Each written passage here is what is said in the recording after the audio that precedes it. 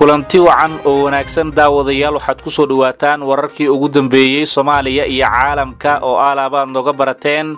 Inaad ka daawataan bartaan aanu ku leenahay youtub-ka qodobada aad daawadayaal muuqaalka xilligan ku daawan doontaan waxaa ka mid ah ra'iisul wasaare rooble oo isugu yeeray madaxda dowlad goboleedyada si looga wada hadlo arrimaha doorashooyinka iyo madaxweynayaasha taageersan farmaajo oo diiday ka qaybgalka shirka golaha wadatashiga qaranka. Haddaba maxaa la gudboon ra'iisul wasaare rooble haddii ay suurageli weydo in uu qabto shirka golaha wadatashiga qaranka? Maxaa ka jira in ra'iisul wasaare rooble uu kala kulmay madaxweyne farmaajo cadaadis la xidhiiro dhanka doorashooyinka soomaaliya? Xog la xidhiirto arrintaasi ayaannu daawadayaal idiin soo gudbin doonaa ciidamada ammaanka muqdisho oo gacanta ku dhigay warshad dhan oo lagu iibiyo maandooriyaha noocyadiisa kala duwan. Qodobada kale ee daawadayaal aad muuqaalkan ku daawan doontaana waxaa ka mid ah sanataradii la doortay ee baarlamaanka federaalk soomaaliya oo sheegay inay ku jiraan xaalad dhaqaale oo aad u culus maadaama aysan jirin wax xuquuq ah oo ay ka helaan dowladda qodobadaas iyo qaar kale oo faahfaasanaya daawadayaal muuqaalka xilligan ku daawan doontaan. Haddii aad nagu cusub tahay nagu soo biir oo janalka sabskribe saar si aad uga mid noqoto saaxiibada helo. Wararka aanu aalaaba halkan soo gelino. Aynu ku horreynaya daawadayaal ra'iisul wasaaraha soomaaliya mudane maxamed xuseen rooble ayaa xaqiijiyey inuu shir isugu yeeray golaha wadatashiga qaranka oo ka kooban isaga iyo madaxda maamul goboleedyada soomaaliya rooble ayaa sheegay in shirkaasi lagu arrinsanayo xoojinta daahfurnaanta doorashada dalka oo ay hareeyeen eedo la xidhiira musuq maasuqa iyo boob ayna golaha midowda musharaxiinta dalbadeen in la hakiyo.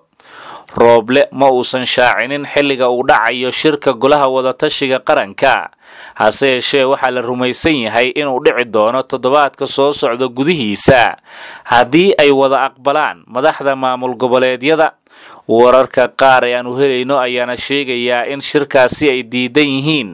Qaar ka mid a madaxda dowlad goboleedyada gaar ahaan axmed qoorqoor iyo cabdilcasiis laftagareen oo kale ah madaxweynayaasha galmudug iyo koonfur galbeed oo si aada ugu xiran madaxtooyada soomaaliya. Inkastoo cadaadis lagu saarayo in shirkaasi ay aqbalaan kana soo qaybgalaan dhinaca kale ra'iisul wasaare rooble ayaa waxa uu iska fogeeyey eedeymaha la xidhiiro in uu ka aamusan yahay arrimaha doorashooyinka iyo cabashada laga qabo doorashada iyo weliba inay wax iska bedeleen mowqifkiisii ku aadanaa qabashada doorasho hufan oo lagu kalsoon yahay rooble waxa uu tilmaamay in aanu jirin cid dhabarka ka soo taabatay isaga oo sheegay in si hufan doorashada loo qabanayo waxaana uu ku baaqay in laga wada shaqeeyo sidii doorashada ay ku noqon lahayd mid lagu kalsoon yahay.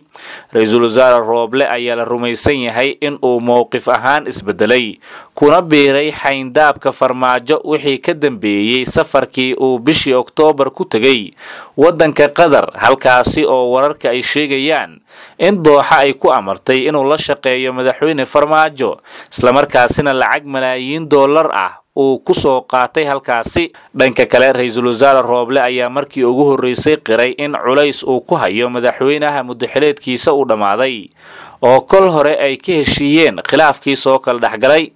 Rooble ayaa sheegay in farmaajo uu ka mid yahay culaysyo dhowr ah oo doorashada darteed lagu hayo kuwaasi oo uga imanayo midowda musharaxiinta iyo madaxweynayaasha dowlad goboleedyada soomaaliya sidoo kale waxa uu tilmaamay in wax isbeddel ah uu ku imaanin mowqifkiisii doorashada iyo in la helo doorasho hufan oo daahfurnaan ay ku dhisan tahay taasi oo ay ku wada qanacsan yihiin saamilayda siyaasadda waxa uu intaasi ku daray in uu ka shaqayn doono xalinta tabashooyinka laga muujiyey hanaanka doorashada golaha shacabka islamarkaasina uu dhowaan shir isugu iman doonaan. Golaha wadatashiga qaranka oo lagu xoojinayo daahfurnaanta doorashada ra'iisul wasaare rooble ayaa qiray in lama taabtaan ay tahay.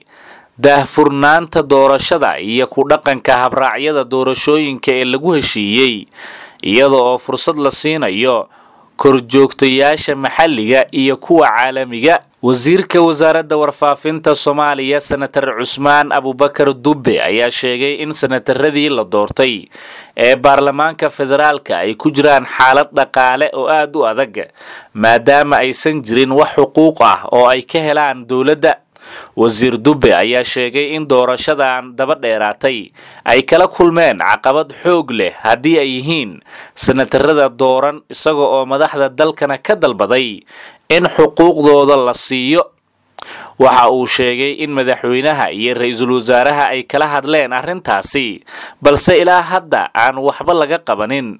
Ra'iisul wasaaraha waa og yahay madaxweynaha habeen hore ayaan kala hadlaynay oo waxa uu lahaa senatarada xaalad ayay ku jiraane. Maxaan la qaban karnaa sidaan laguma eegan kare cusmaan dubbe ayaa sheegay in caqabadan xuquuq la'aanta ee haysato xubnaha aqalka sare ay keentay doorashada dalka oo aad u daahday isagoo codsaday in doorashada golaha shacabka iminka la dedejiyo. Ugu dambayntiina daawadayaal ciidamo ka tirsan booliiska soomaaliya ayaa howlgallo ay kula dagaalamayeen. Waxyaabaha maanka dooriyo waxay ku soo qabteen maandooriyaal kala duwan. Kadib markii ay gacanta ku dhigeen warshad ka mid ah kuwa sameeyo maandooriyaha oo ku taallo magaalada muqdisho guddoomiyaha maamulka gobolka banaadir. Cumar maxamuud maxamed cumar filish oo ah duqa magaalada muqdisho ayaa sheegay in ciidanka sidoo kale ay gacanta ku soo dhigeen kaydkii ugu ballaarnaa ee waxyaabaha maanka dooriyo. Waxyaabaha maanka dooriyo ee warshadaasi lagu sameeyo ayaa waxaa ka mid ah calaqa iyo xashiishka kuwaasi oo uu sheegay guddoomiye cumar filish in uu soo dul istaagay iyaga oo sideed digsi lagu karinayo? Guddoomiye cumar filish ayaa sidoo kale tilmaamay in maandooriyaha gacanta lagu soo dhigay lagu gubi doono goob fagaaro ah isaga oo uga digay dadka ka ganacsado waxyaabaha maanka dooriyo. Si kastaba warshadaasi ayaa ahayd tan ugu ballaaran ee lagu farsameeyo waxyaabaha maanka dooriyo. Sida ay sheegeen ciidamada booliiska waxaana ay ka mid tahay warshado dhowr ah oo la sheegay inay ku yaalaan gudaha magaalada muqdisho.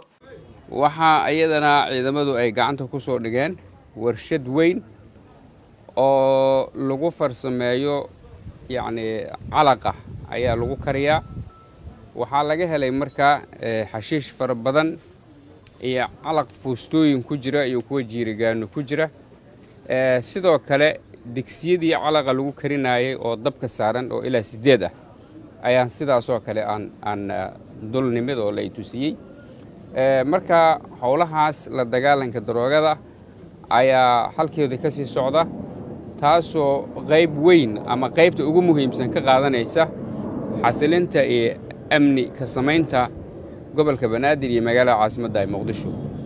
Runtii daroogadan faraha badan ee mataqaanaa dalka la keeno oo dibadda laga soo geliyo iyo kuwa dalka lagu farsameeyo kuwan ay ka mid yihiin. Waa waxa ay la daalaadhacayaan ubadka soomaaliyeed ee da'yarta ah kuwooda waxbarta iyo kuwooda aan waxbaran intaba. Isla markaas waa waxa sahla dhaca iyo boobka iyo amni darrada ka dhacda magaaladan meel kasta oo ay ku badan yihiin warshadaha iyo daroogada nuucaanihi waa meel kasta oo amni darro badan ay ka jirto. Sidaa darteed howlgalku waa bilowday wuuna sii socon doonaa meesha hadda laga helay waa degmada boondheere waxaa nala jooga guddoomiyihii degmada iyo mataqaanaa taliyihii saldhigga iyo ciidamadii booliiska ahayd oo qaybta guud iyo ciidanka booliiska soomaaliyeed. Intaba looma kala harin. Sidoo kale waxaa jooga ciidamada nabad sugidda saraakiishii ka socotay oo u xil saarayd la dagaalanka iyo ka hortagga daroogada iyo iyo burcadda. Marka howluhu waa sii socdaan insha allah wayna sii socon doonaan. Halkan ayaa laga rari doonaa yacni fuustooyinkan daroogada ah ama khamriga macmalka ah iyo xashiishka gaadiidka dowladda hoose ayaa lagu rari doonaa waxaana lagu gubi doonaa meel fagaaro ah. Haddii alla idmo sida shalayba loo gubay oo kale. Sidaa darteed bulshada soomaaliyeed ee dhibaatadan ay deriska la tahay aanna ognahay inayan raalli ka ahayn. Waxaan ku boorinaynaa ku wacyigelinaynaa inay hay'adaha ammaanka iyo hay'adaha maamulka degmooyinka ay soo gaarsiiyaan goobaha waxaasu ay ka jiraan. Cid kasta oo goobtaas ka ganacsata ama daroogada ku karisa ama si galaangal ugu leh oo lug ku leh ayagana tallaabo adag ayaa laga qaadi doonaa biidni illahi alkariim. Maxaa yeelay waa halka bayska ah ee yacni fasaadka ku dhacaya bulshadan uu ka soo baxo. Marka si fasaadka iyo burcadnimada iyo faaxishaadka iyo dadka nolosha ka dhacay meesha looga saaro waa in wixii fududaynaya waxaasoo dhan aan la dagaalanno taasoo haddaba aan ku jirno la dagaalankeeda intaas ayaanu ku soo gebagabeynaynaa daawadayaal muuqaalkan aad ku daawanayseen wararkii ugu dambeeyey soomaaliya iyo caalamka. Tan iyo intaanu dib ugu kulmi doonno muuqaalo kale waxaanu iminka idinkaga tegaynaa sidaas iyo nabadgelyo